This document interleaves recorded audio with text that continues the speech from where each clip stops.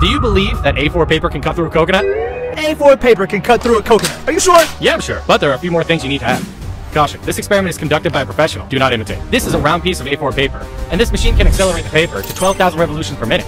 Now let's load the paper and start the machine. We'll see which fruits can be cut through by a piece of A4 paper.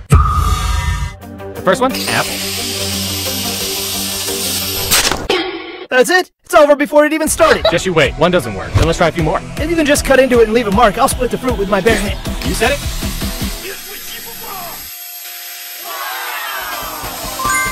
Go on, do it. I will do it. Let me cut a watermelon. I dare you. Next, cut the watermelon.